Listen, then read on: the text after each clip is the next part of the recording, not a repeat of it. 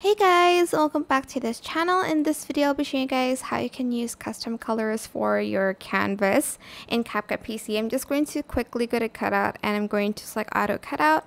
I'm also going to, okay, maybe let's just use this one because you can kind of see that. And you have to make sure that this video is on the first, um, how do I say it, track here.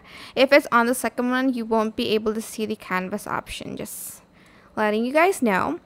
Scroll down and select the color section. You can choose the colors that they have here or you can select this color wheel and select the color that you want using this like slider thing. For instance, you want this really kind of pastel pink. You can do that. You can also add it to your colors here.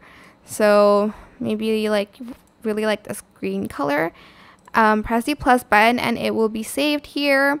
You can also copy and paste hex colors in RGB here as well.